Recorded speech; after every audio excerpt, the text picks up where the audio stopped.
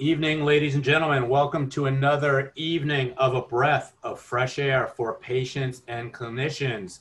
Zephyr Valve and Pulmonx. Our guest this evening, Dr. Lisa Kopas, graduated summa cum laude from the University of Texas at San Antonio. While raising a family, she attended Baylor College of Medicine, graduating in 2003. Dr. Kopas is board certified in internal medicine, pulmonary medicine, and critical care medicine, where her primary area of interest is advanced bronchoscopy. She is an avid international traveler who is planning to snorkel with the whale sharks in Mexico. Welcome to the show, Dr. Kopas. Thank you so much, Noah. it's a pleasure to be here. And our other guest is Ms. Cindi Dugas, who had her, her valves done in January 2017. She had three left upper lobe valves, and she's the chief admin of the Facebook group Lung Valves for Friends, which has over 3,300 members. Cindi, welcome to the show. Thank you.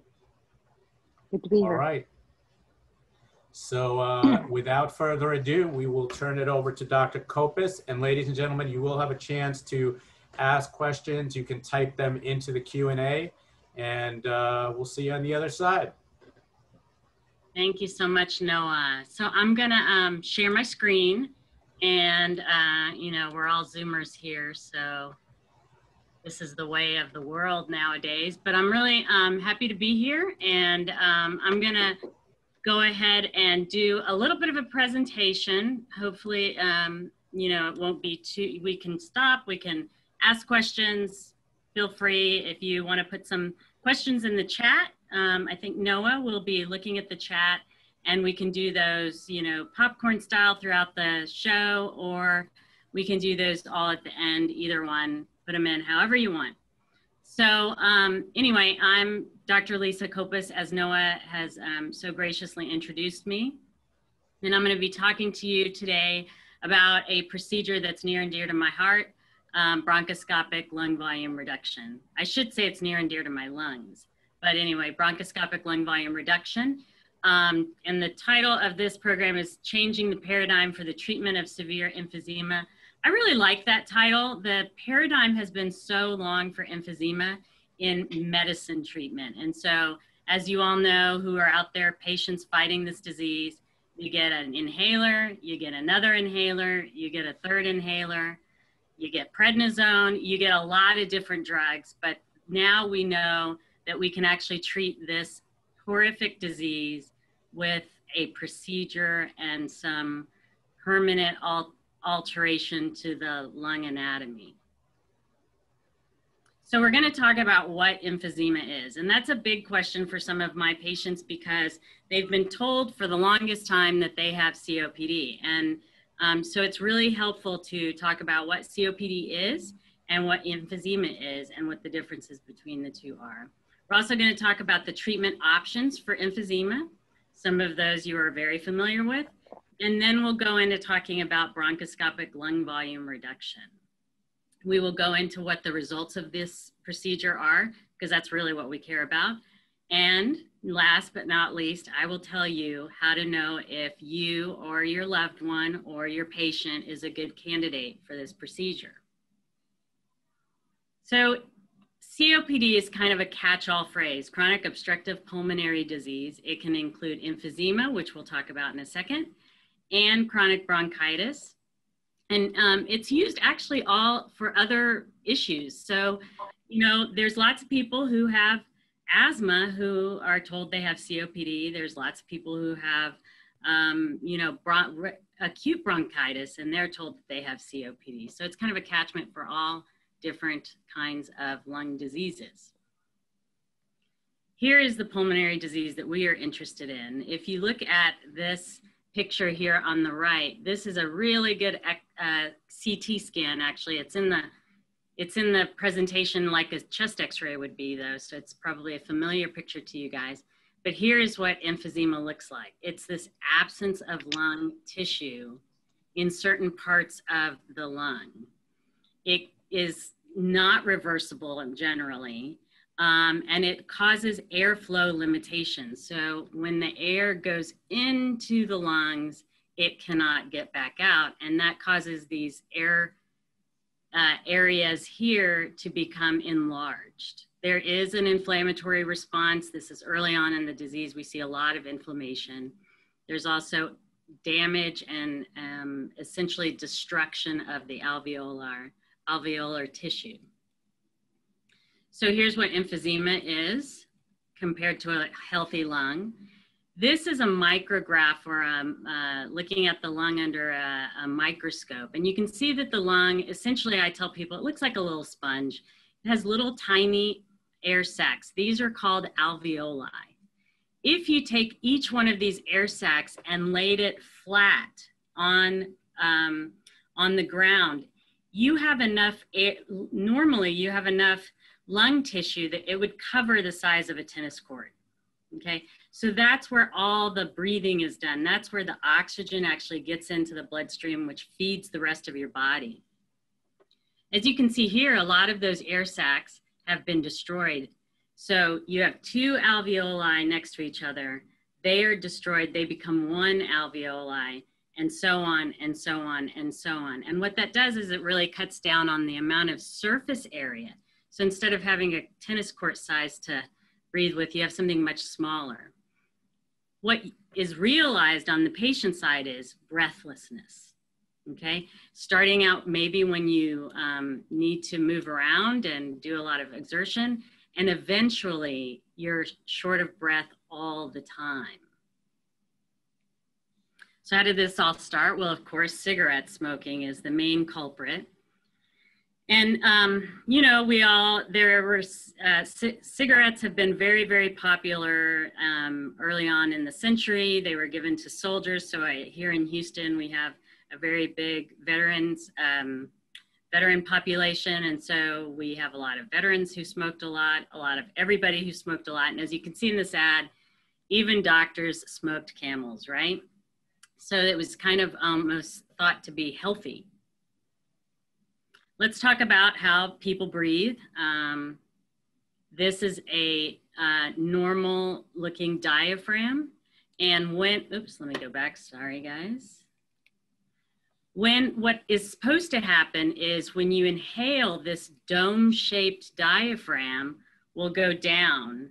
And then as you exhale, it kind of comes back up and that pushes the air, much like a bellows would work, in and out of your lungs as that's happening, your rib cage expands and contracts to do the same thing inhalation and exhalation.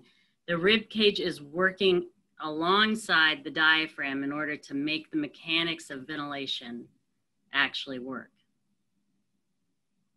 So, what happens when you have these destroyed emphysematous lungs?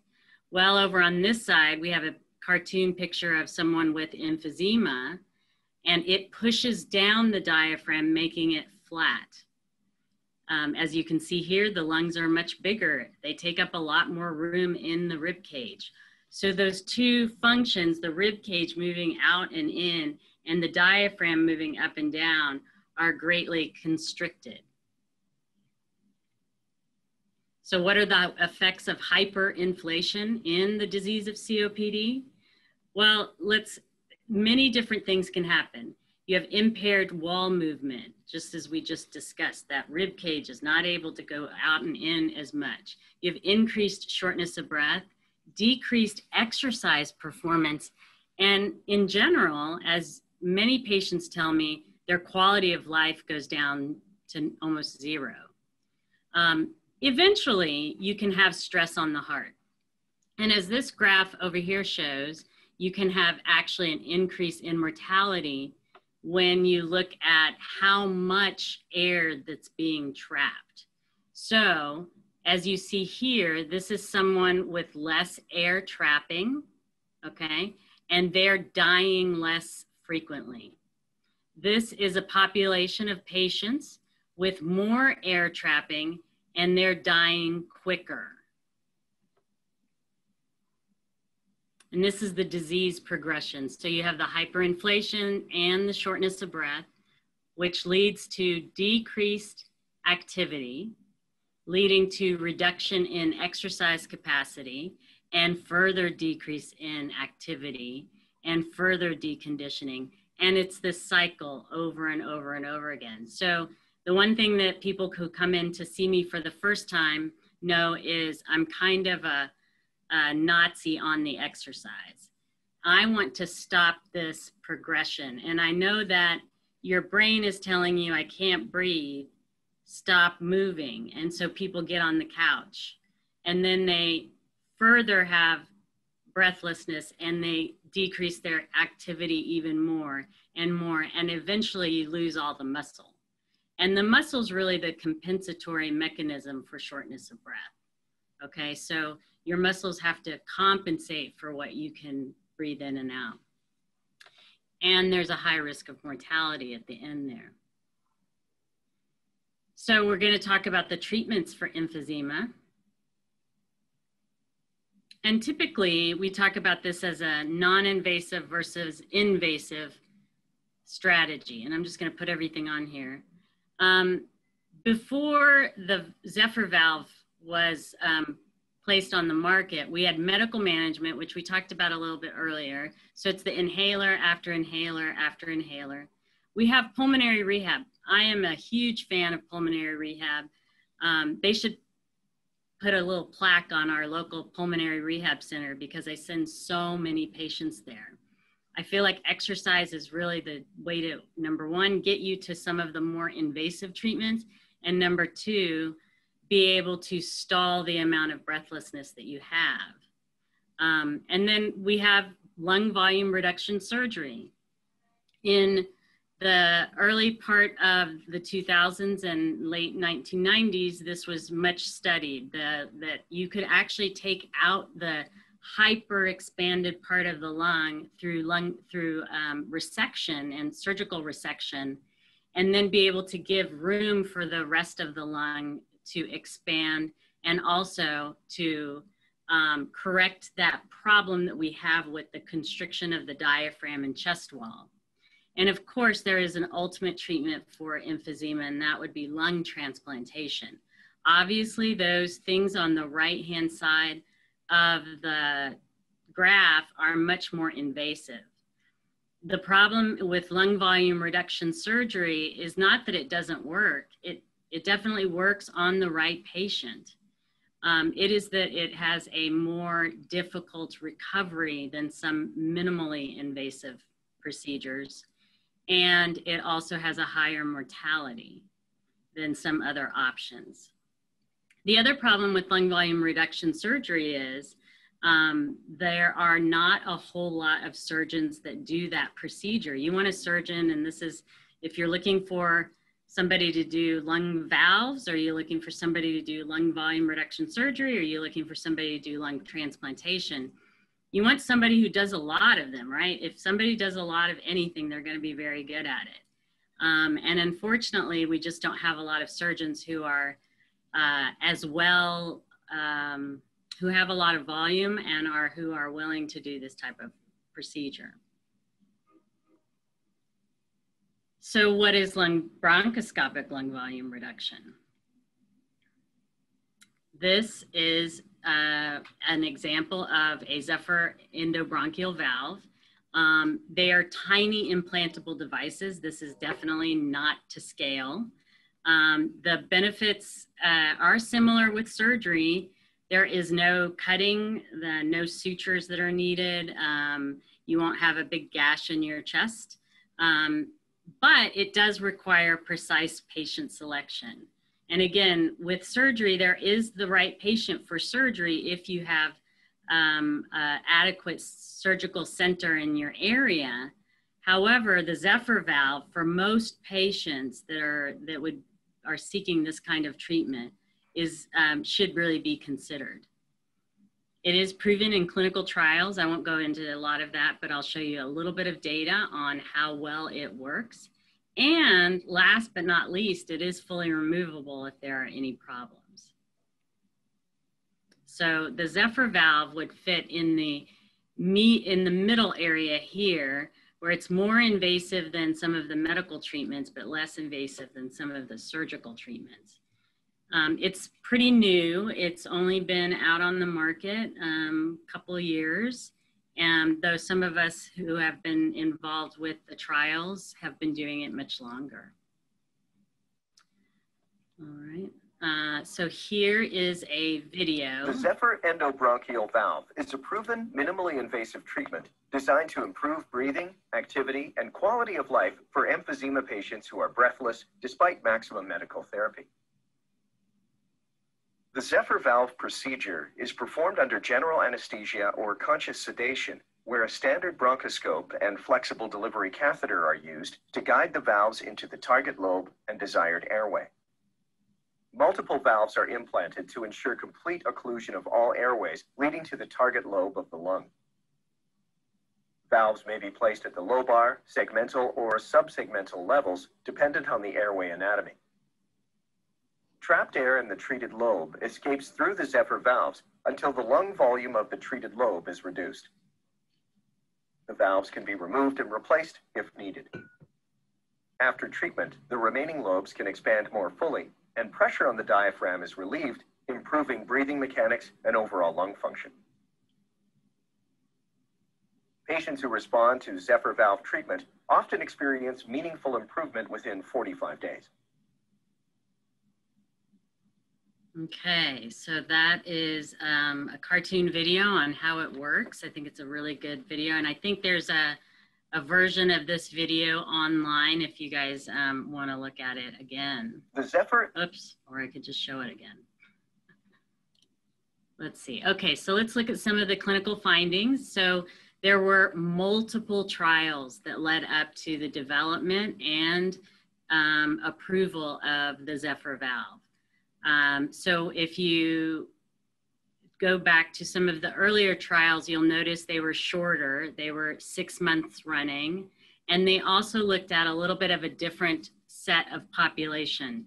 They were trying to find out which demographic group, which type of lung patient would benefit the most from the valve. And so when they got to the last trial prior to approval, the Liberate trial, um, they did that in a 12 month long fashion.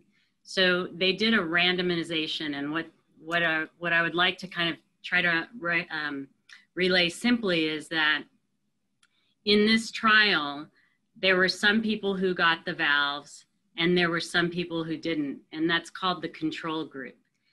The control group did not um, was was randomized in a two to one fashion, meaning that the treatment group there was two for every control patient in the group. That's what it says there, two to one. That's what that means.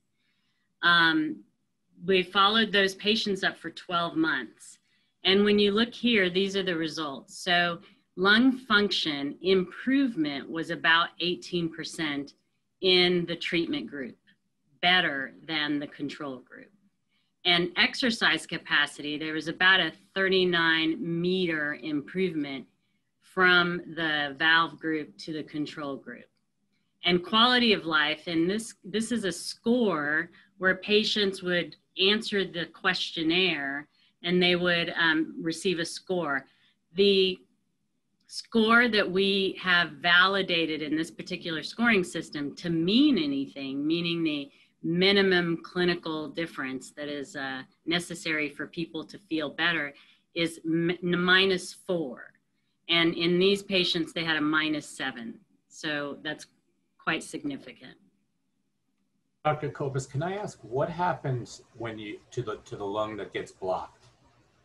So in the in the subsegment of the lung, and I'll just kind of let me see if I can go back here, get a static picture. Okay, so in the lung, as you can see here, this upper lobe here is very large, and we can see that that's what we call hyperinflated. It's kind of like a balloon that's been blown up to too much. Um, and the reason for that is uh, the obstruction in the airways causes there to be trapping in those, both in the alveoli and just in the entire lobe itself. And so when you put the valves in to that lobe, the air can escape, but it can't be refilling itself. And so over time, and sometimes a pretty short amount of time, that giant lobe here is squished down to a small area. And so you can see this lobe increases and this lobe increases. And also the diaphragm can come back up to its um, normal shape. And this lobe just completely deflates of air, which is fine because it wasn't working anyway. So does the tissue remain alive or does the tissue die and just stay there? Right. So the tissue remains alive. There's no what would be called necrosis or necrotic tissue. Um, the blood vessels still are all going to that area of the lobe lung. It's just that the air part has been compressed. The terminology for that is called atelectasis. And that just means that there's um, like the sponge is being squished. It's not, it's not fully open. So it No. sounds like the, the, the, the, the non-working part of the lung is just being cleared so that the better working part of the lung has room to move. Is that it? Yes, no, absolutely. So this we often find, and this is kind of a, um, I don't know if I'll have enough time to really explain it, but we often find that there's this concept of hetero, heterogeneous um, emphysema, meaning that the lung down here looks pretty good, but the lung up here uh, does not look good, and it is more affected by smoking. Sometimes it can be the upper lobe, sometimes it can be the lower lobe. Sometimes you have more damage on the right side. Sometimes you have more damage on the left side. And so we have processes in place through the use of, of special CAT scanning where we can actually target which lobe we want um, to put the valves in based on the amount of destruction in that particular lobe. Gotcha. Okay, thank you.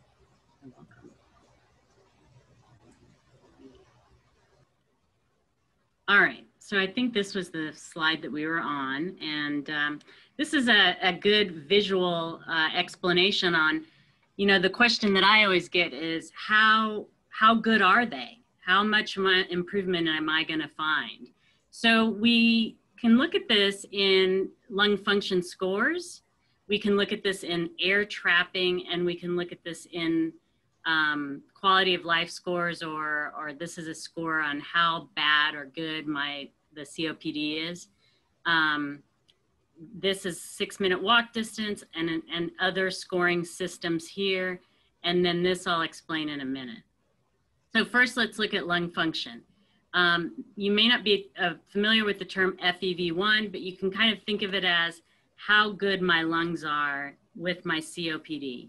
And there's two breakdowns here. One is groups of people in the trial that improve by greater than 15%. So that's the blue is treated patients and the yellow is not treated patients. And so you can see if you were treated, you were more likely to have a good improvement. And then this is just the same thing, but only with 12% improvement. Um, so you can see here, greater than half of the patients who were treated improved 12% based on that FEV1 number. This is looking at the actual problem, which is air trapping.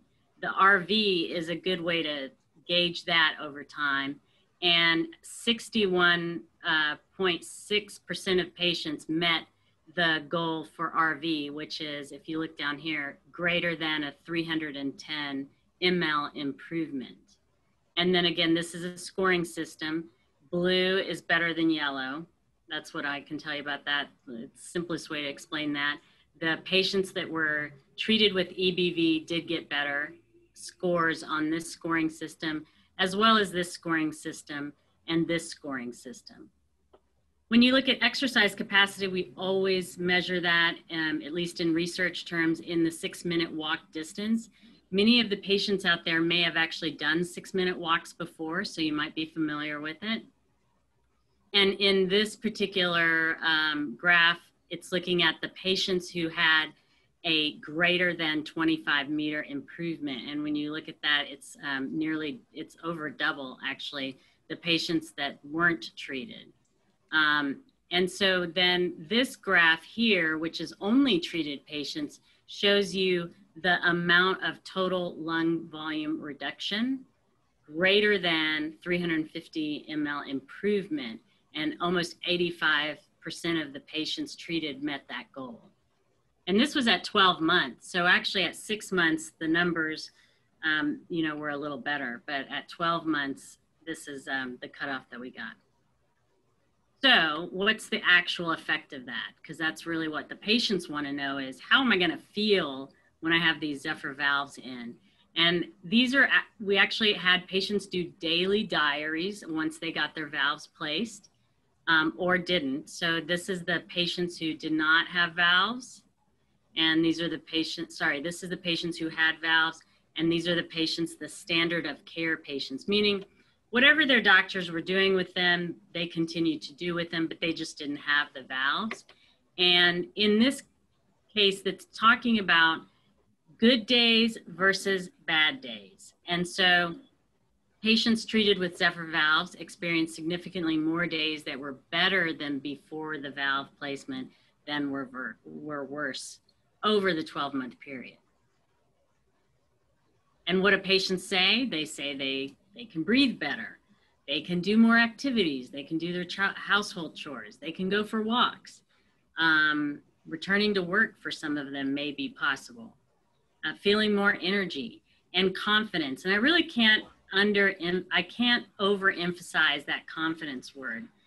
When I see patients with COPD, they start making their world smaller. So we had that progression of the disease slide earlier, where we talked about the disease, making exercise harder. The disease progresses, they exercise less.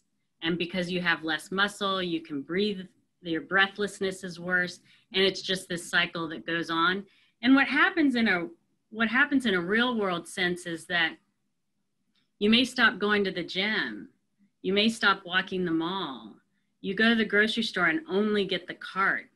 And then after a while, you don't want to go to the grocery store anymore. So you only go with your, you know, you only have your family members go.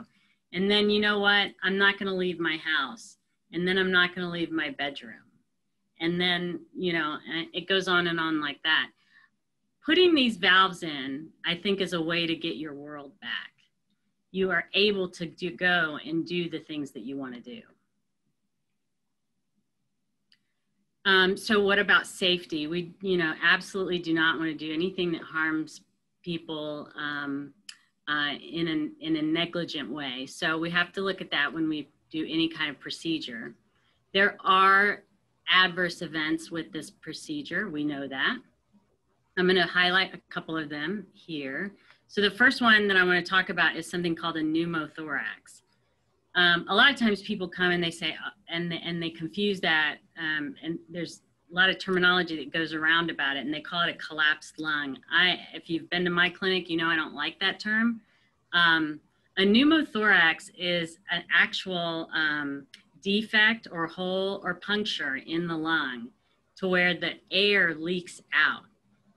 It can heal um, most pneumothoraces um, you know do quite fine after treatment. Um, and, and as you can see, about 26% of patients who were treated did have that adverse event. So now, just take a moment um, to go to Cindi for a second. So Cindi, um, so can you identify with that world becoming smaller? How has your life changed since you've had the? Oh, yeah yeah, it was, yeah, I totally agree with that. It was, I had a really small world. I just, I, I would have to be dropped off in front of the store or whatever, you know, because I couldn't walk that far. And uh, I actually don't go in the store right now, but it's only because of COVID, not anything else. But otherwise, I would be going to pick out my own groceries and and have, I like Dr. Kopas, I also like to travel. And I did do some traveling after I got my valves. So it was really wonderful to do that. Awesome. And you also coincidentally had a pneumothorax, right? I did. Could, could you tell us how, how was that for? I mean, I know it wasn't, you're not gonna be like, it was awesome. I had a pneumothorax, but what was that experience like for you? Well, I didn't even know I had it until Dr. Kopas told me I had it, and I would have to go and get a tube in my lung. And so they whirled me off because they are really efficient there at the hospital. And um, in just a matter of minutes, I was getting that tube in. It was not painful at all. I felt a small amount of pressure. And really, the worst part was just being confined to bed for 24 hours and then I was fine. Gotcha. Thank you so much. All right. Yes, Cindi uh, is a definitely a trooper there, but uh, I would say that the the it is a similar experience with other patients who have this uh, adverse event.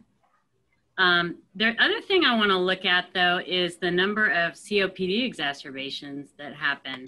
So interestingly, um, in the period of time right after the procedure, so we're looking at 45 days out, you have a 7.8% of COPD exacerbations compared to 4.8. So the number is somewhat higher in that um, in that case, and also um, would be the same for respiratory failure, usually caused by COPD exacerbations. If you look at the number of these adverse events after the 45 days, so if you go all the way out to 12 months, for instance, um, the number reverses. So instead of having more COPD events, um, exacerbations in the treatment group, you actually have less in the treatment group and more in the non treated group. So we know that the exacerbation rate after the initial post operative period will go down. And then also the same for respiratory failure. You actually have a higher rate of respiratory failure in the group of patients that did not get the valves. And just to kind of go over the, and this is pneumothorax plural, pneumothoraces within three days of procedure are much higher than all the rest of the days in the postoperative period. So when you look at them, as you can see, this is graph, this bar graph represents number of people, uh, number of people with that adverse event of pneumothorax. And as you go, um, as you get further and further away from the procedure, you can see that the event rate goes way down to where here you're having hardly any. It can happen, but they're rare. And so um, in our center, and, and is mandated certainly by the FDA, we have patients stay in the hospital for three overnights. And you can see not all of the, as Cindi was talking about getting a chest tube, um, there are some cases where we just observe. And then there are some rare cases where we actually do the chest tube and have to remove the valves. Interestingly enough, in some of those patients, we can put the valves back in and they don't have that same um, adverse event. So, how do I find out if I am a good candidate? Patient selection is enormously important. I always tell patients that this is a tool that we can use to be able to treat your emphysema. But you have to have the right kind of emphysema. It would be like saying um, you don't want to screw in a screw with a hammer. You want to be able to use the right tool for the right patient. It doesn't do anyone any service if I just put valves in everybody. You would just end up with um, with not having the desired outcome. So my job, the hard part is not actually the procedure. The hard part for me is figuring out who's going to benefit from this procedure. So um, we do a lot of things up front. We do clinical screening that involves spirometry and pulmonary function testing. Of course, you have to have emphysema. You can't have chronic bronchitis or acute bronchitis or just shortness of breath from any other reason. It is only in patients with significant emphysema. You have to be medically stable. This is certainly a procedure. Cardiac fitness is pretty important with the type of anesthesia that we use and um, certainly can't have any other um, major medical issues that would um, get in the way of anesthesia. We then do what's called a StratX analysis. This is a computer-based CT technology that will give us um, a visual and a numerical view of the lungs. And so we can pick out the right target.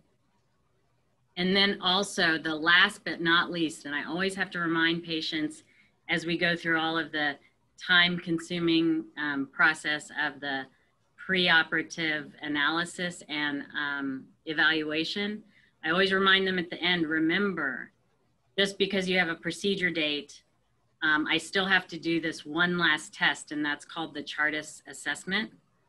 It actually tells me um, if there is a complete fissure and collateral ventilation, and I will tell you what that is in a second.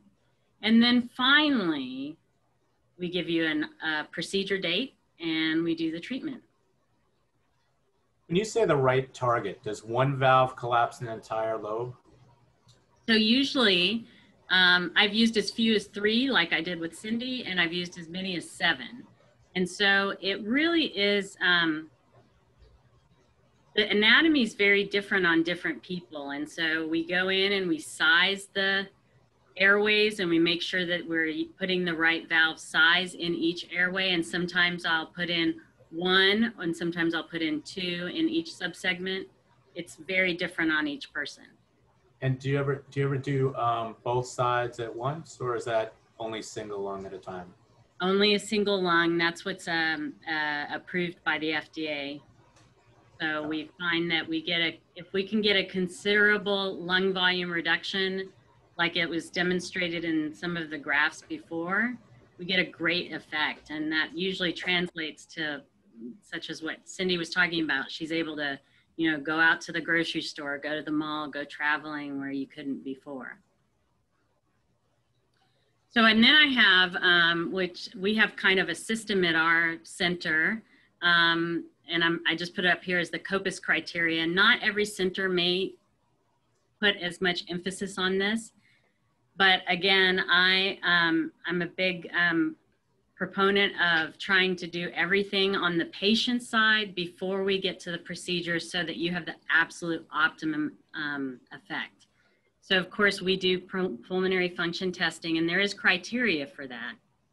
We only want to put valves in patients who have hyperinflation. And so there's a certain number that we target. We do a six minute walk test and this is very important in my clinic. We have a target of what of how much I need you to walk. And sometimes patients come in and they think, oh, maybe she only puts the valves in patients who are really, really, really unable to walk and can't breathe and, you know, the worst of the worst. And that's actually not the concept of these valves. We actually want patients who still have muscular conditioning so that when we put the valve in, they're able to start exercising and doing things right away. I usually tell patients, you know, I can put all the gas in my car, but if the engine doesn't work, it doesn't do any good. And so that's the analogy that I use. These valves are like putting gasoline in the car, but you need your engine to work. With and, BMI, and is there ever a point? I'm sorry. Is, there ahead. ever a point where it's too late, where it's like stage three or stage four, and you say you're you're disqualified from the valve? So what I will tell patients is to go back to pulmonary rehab. If it if the six minute walk is the only thing that's holding them back, mm-hmm. I will ask, you know, if they're kind of um, borderline type patients or not quite meeting a good six minute walk. A lot of times it's just because they haven't been trying to exercise. I have patients come back to me um, once they've done a full set of pulmonary rehab and say, wow, I wish I would have done that, you know, two years ago, four years ago, because they've never been through pulmonary rehab before.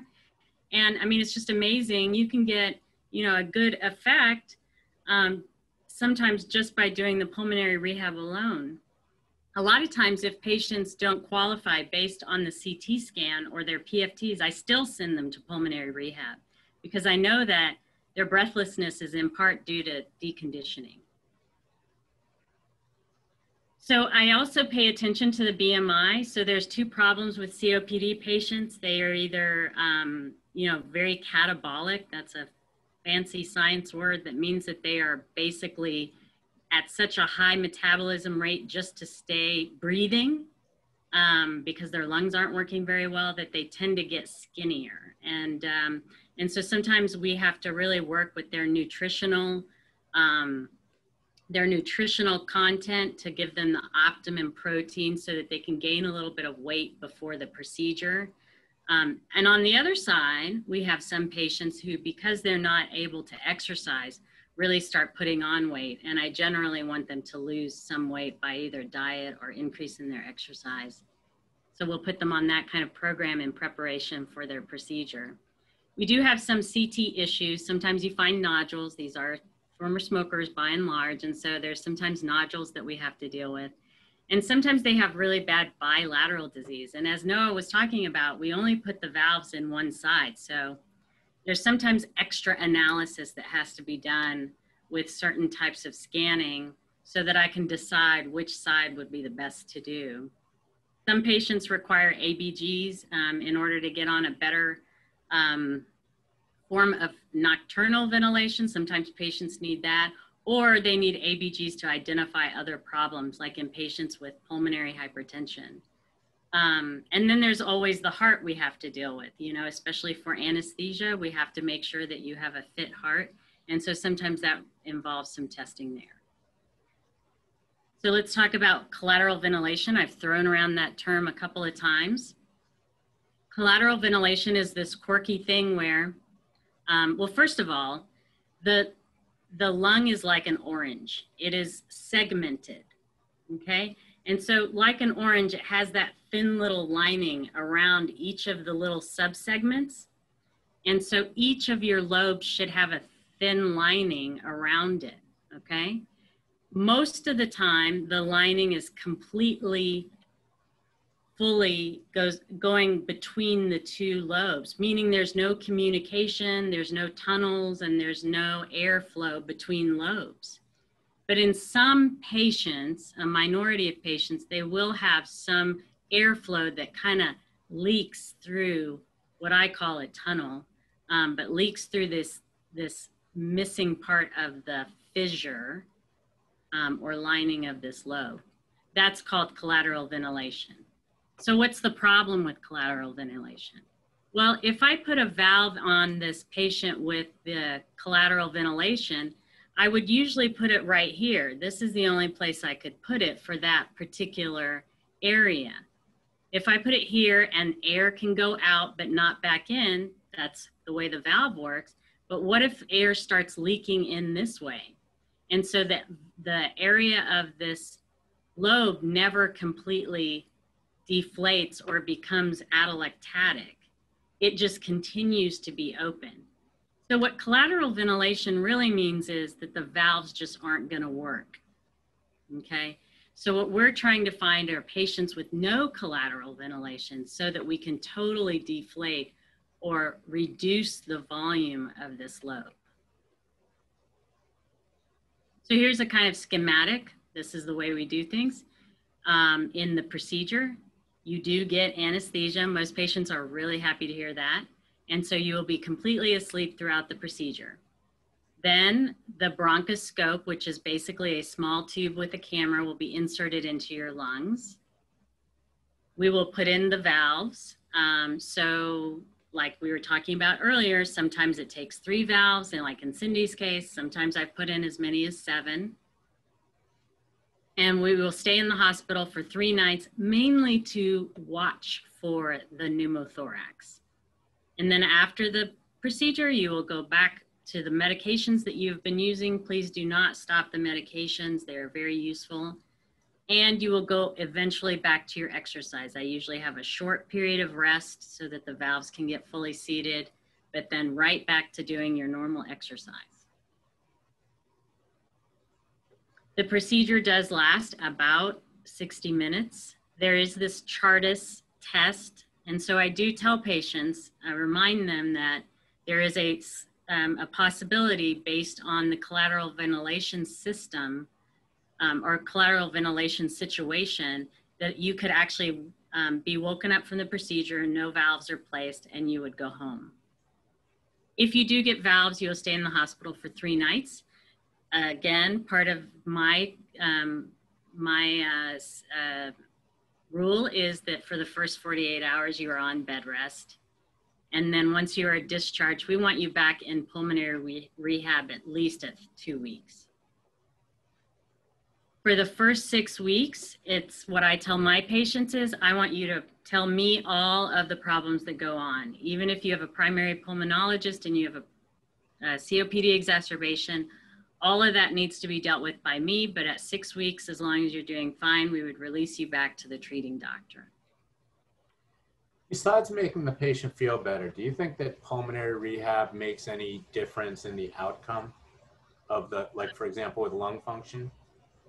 Yeah, I think it really does. I think that you can definitely have better mechanics because a part of the the muscular system that they're working on is exactly what we talked about earlier in the program where you have you have tons of small muscles um, between your ribs that have to expand for um, for lung ventilation.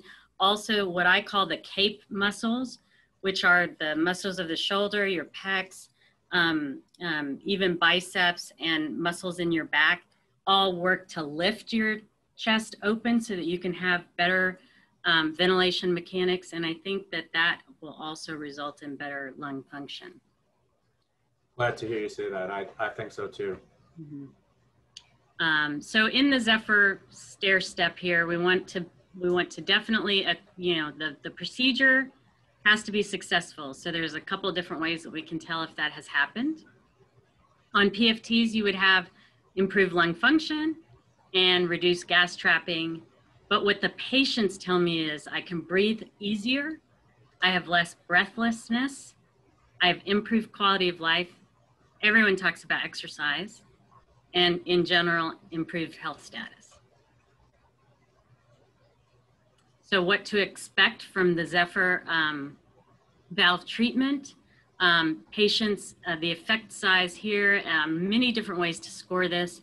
Uh, you have less dyspnea, which is another word for shortness of breath, more activity, and then even on the um, psychosocial, you just feel better. And so um, they experience, here it says they experience moderate to large improvements in all of these parameters out to at least 12 months. Does it last more than 12 months? Well, Cindi can probably answer that question. Um, what do you think, Cindi? Oh, yes, yes, yes. It's And- been almost four years for me, so yeah. All right, very good. Cindi was my very first patient that I implanted. Really? Okay. So find a treatment treatment center in your area. Make sure that they are experienced in what they do. And um, you can go on mylungsmylife.com to find that. You can also go on uh, my website, which is www.houstonlungdocs.com. If you're in the Houston area, we'd be happy to see you and talk about uh, valves. We do uh, video visits just like this. I feel like I stare at a computer all the time now. Um, but if you want to call my office, we are very, very busy. But if you say, I need a valve, um, they will get you in much quicker. And that's my address. That's the code word right there. I need a for it. valve. I need a valve. I'm going to. I do have Cindi, a couple of slides on Cindi that I wanted to kind of just give some clinical information before she, or either before or after she tells her story. So yeah, so um, why don't why don't you give the slides and then we'll go to Cindi for a, a little tale and then we'll go to the speed round. All right. Questions. So Cindi, before um, she had daily symptoms, she had stopped traveling, she stopped gardening, she had trouble with stairs, and she told me she had about two exacerbations in the last year prior to me meeting her. We saw on her pulmonary function test hyperinflation and poor lung function. She walked about, there was a couple different six minute walks prior to her getting into um, getting her procedure, but she did about 231 meters in six minutes. And maintenance, she was a very good exercise patient. That's what I can tell you. She was great with pulmonary rehab and she did treadmill 30 minutes a day and arm curls and some other exercises as well. She had a great BMI. she had no CT issues, so I'm running down the Kopas criteria here. Her ABG was normal and her EKG was normal.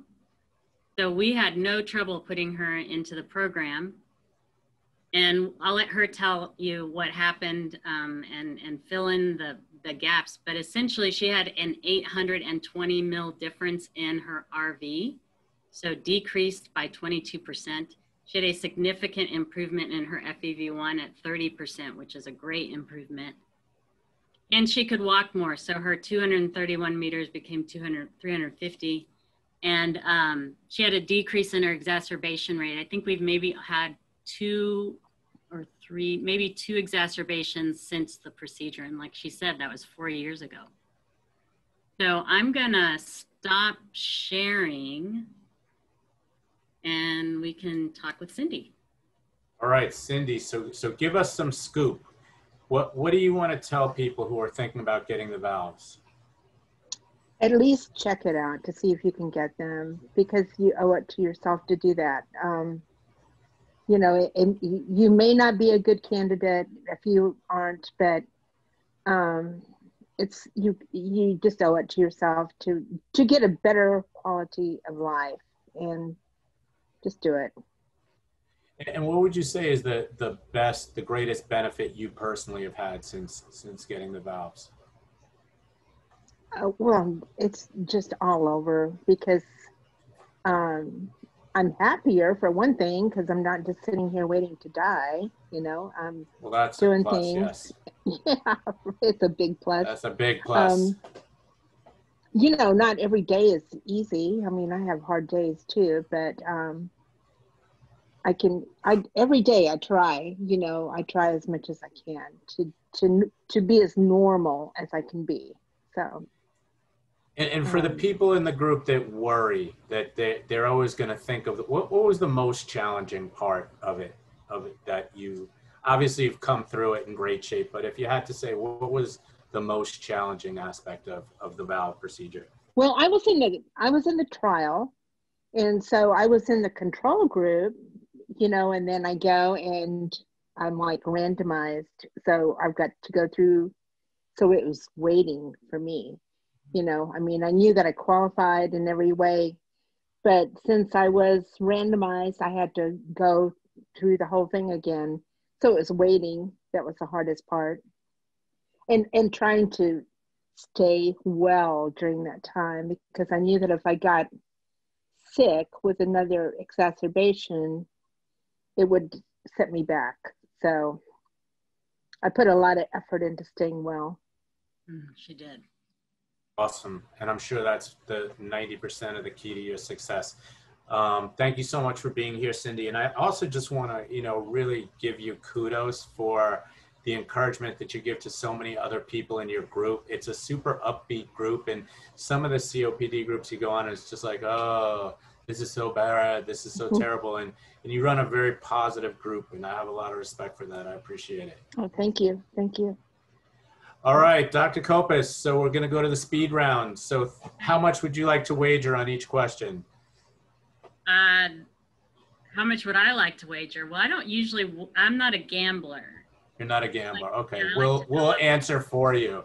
We'll say you're all in. How many? Do you know how many patients have been treated worldwide? I don't actually. All right, good answer. How many have you done? How many have you done? So uh, we are at about the 30 patient mark for me, and I think we're at about 50 for my group. That's awesome. Okay. Um, I know you mentioned uh, quality of life, better recovery. Are there other reasons to choose a Zephyr valve over surgery? Yes. So the immediate post procedure time period is a lot rougher with surgery. Um, it, you know, you just, you, um, the, the amount of time in the hospital is longer. The amount of time you're not exercising is longer. Um, you can have other types of um, adverse events a lot more than what you would have with valves. Again, not everybody can be a valve patient, especially again, like we talked about, the collateral ventilation issue might knock you over into having surgery. But I think that you should be evaluated for valves first. And then if you're not a good candidate, we can see if surgery might work for you. And here's a, a question of, of, my own um, that I, I never asked this before, but I just thought of it tonight. So um, I know for some procedures, like let's say a lung transplant, like you don't mm-hmm. want to go too early, right? Because there's a time limit. Can you go too early for this, or is it kind of the sooner the better? Uh, there's a sweet spot. Okay. okay. So we want the patient um, far enough down the line so that they get some benefit, right? So the main number is the hyperinflation. Hyperinflation to the degree that would be helped by this device is usually not found in mild COPD, for instance. So you're usually talking the patients who have already been put on all the inhalers. A lot of them are on oxygen, so that's definitely not a contraindication. Um, you know, I'd say most of my patients are already to the oxygen stage. There are some patients who I have found that are very fit, like Cindi actually, who maybe didn't need a lot of oxygen pre-procedure. And that's mainly because they're compensating so well.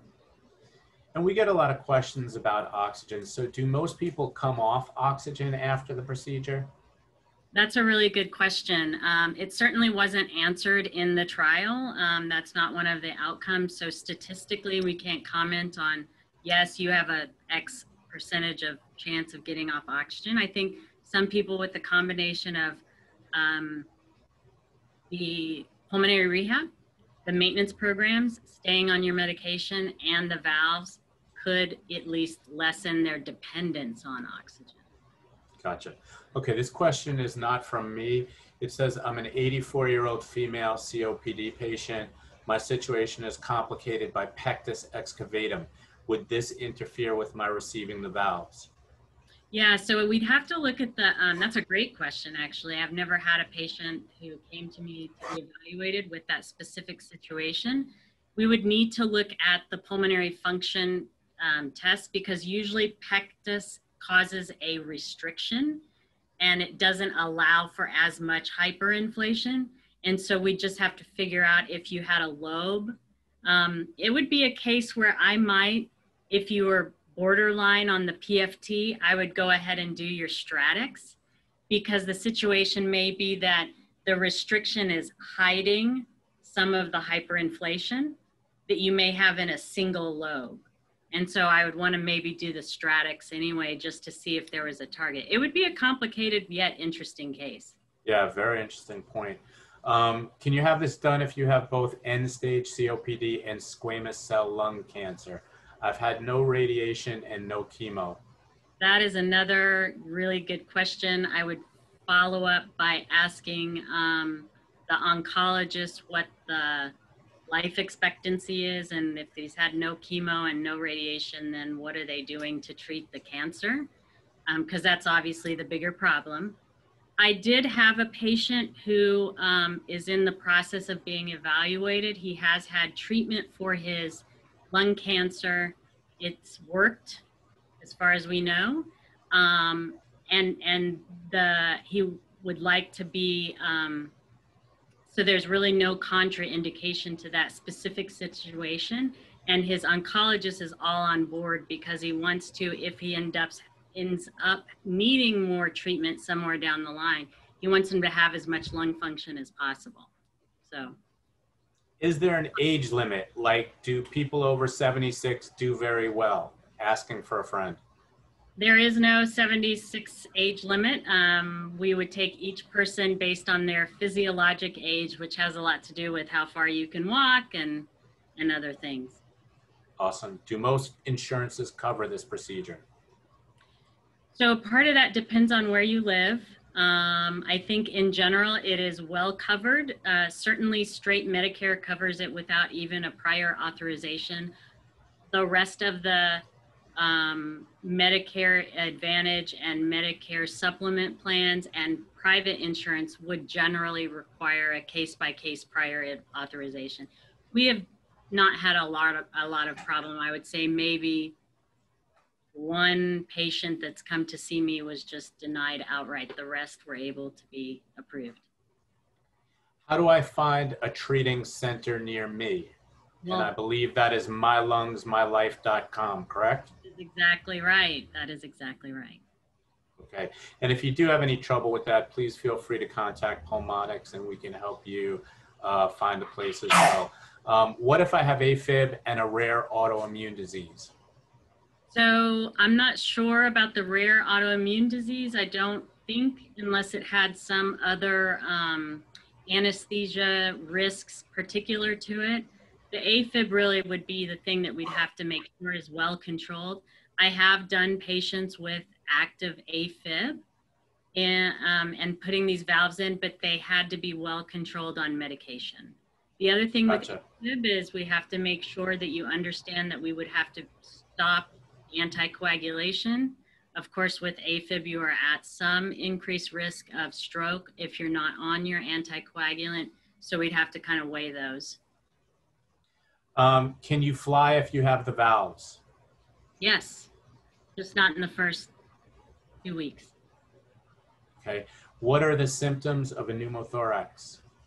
Generally, chest pain and shortness of breath. And I kind of hammer that into my patients as they're going into the hospital setting. Um, there's never an hour where you should not tell your nurse that you have chest pain or shortness of breath.